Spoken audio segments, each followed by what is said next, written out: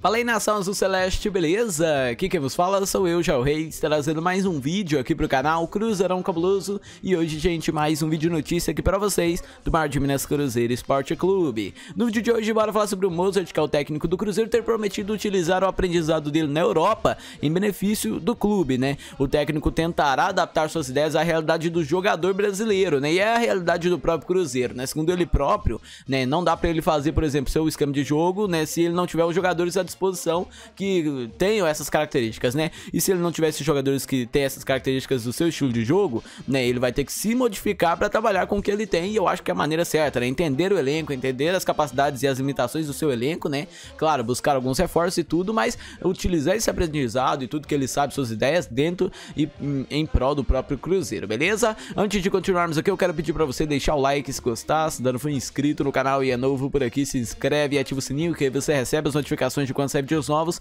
e fica sempre por dentro de tudo do cabuloso, beleza? Bora falar agora sobre o Cruzeiro, porque nos tempos de jogador, o Mozart Santos ficou mais na Europa que no Brasil, né? Foram cinco temporadas no Regina da Itália, cinco no Spartak Moscou da Rússia e uma no Livorno da Itália. Nesse período, o ex-volante se destacou pela liderança e carregou o braçadeira de capitão. O perfil orientador o credenciou a se tornar treinador após pendurar as chuteiras. E no Cruzeiro, a expectativa é implantar as ideias absorvidas no velho continente e adaptá-las a realidade do Brasil. E ele comentou um pouco sobre isso e disse assim: Joguei 15 anos de futebol profissional, foram 12 anos na Europa e minha influência é muito mais europeia do que brasileira, porém sou brasileiro e trabalho no Brasil, então tento adaptar minhas ideias à realidade do jogador brasileiro e minha influência ao futebol italiano, sem dúvida, mas adaptando para o nosso país, afirmou aí o técnico, né? E no Brasil, Mozart ganhou visibilidade no Coritiba em 99 e foi contratado pelo Flamengo no ano seguinte. Os cabelos loiros e cacheados se tornaram uma marca registrada do volante canhoto, chamado a Seleção Brasileira Sub-23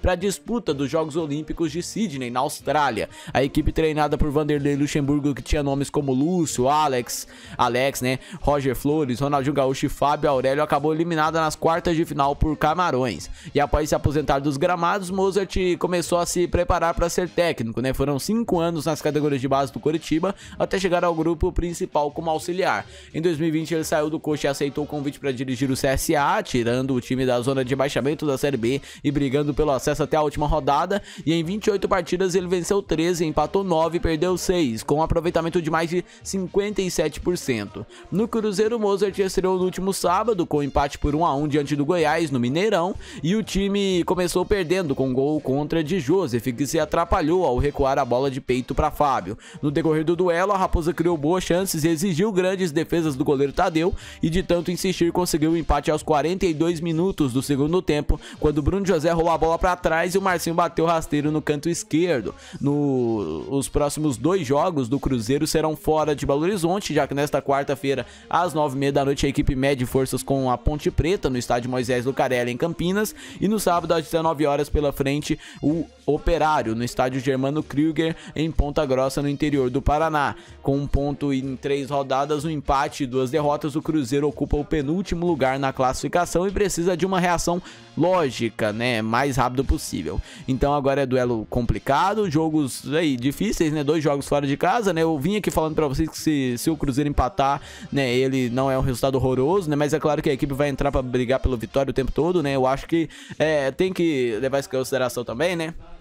que se você perder ponto em casa, você tem que buscar fora. O Cruzeiro ele perdeu ponto em casa em dois jogos já, então ele vai precisar buscar fora de alguma maneira, né? Seja aí vencendo né? É claro que são duelos complicados. Se o Cruzeiro empatar esses dois jogos e os outros em casa ele vencer, né? É bom também. Ele vai precisar pontuar, ele não pode. A gente tem que pensar num momento assim que é um empate é melhor que uma derrota, né? E a vitória é melhor do que qualquer coisa. Então tem que buscar a vitória o tempo todo, mas se não, não for possível em alguma partida, um empate é legal e a gente vai ter que valorizar cada ponto conquistado pra gente sonhar com alguma coisa, né? É claro que estamos apenas no início da Série B, agora vamos pra, se eu não me engano, a quarta rodada, né? E o Cruzeiro vai caminhando, né? Só que assim, passa muito rápido. São 38 jogos, já foram 3, vai pra quarta e aí a gente vai precisar começar a pontuar e acordar nesse campeonato, né? Porque ficar lá embaixo e deixar a galera de cima aí embora, sumindo, fica bem complicado para qualquer reação, né, aí nessa série B, beleza? Então, galera, deixa aí nos comentários se você acha que o Mozart vai conseguir passar esse aprendizado dele na Europa pro Cruzeiro, né? Se ele vai conseguir trabalhar assim com os jogadores, eu espero que sim, eu espero que ele faça um bom trabalho, né?